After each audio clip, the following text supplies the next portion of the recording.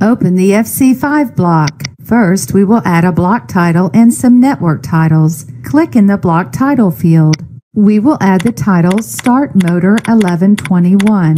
Click in the Network 1 title field. We will add the network title on Delay Timer for CAP Energize. Click on the Network 2 title field. We will add the title Start Motor after CAP is ready. If comment fields are not displayed, click the View menu. Choose Display With and select Comment. Comment fields are now visible. Click to add a block comment. A comment has been copied from a text document. We will paste it here by pressing the Control key plus the V key. We will do the same for Network 1's comment. Click on Network 1's comment field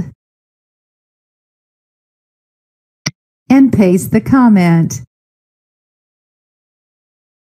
Click on Network 2's comment field and paste the comment.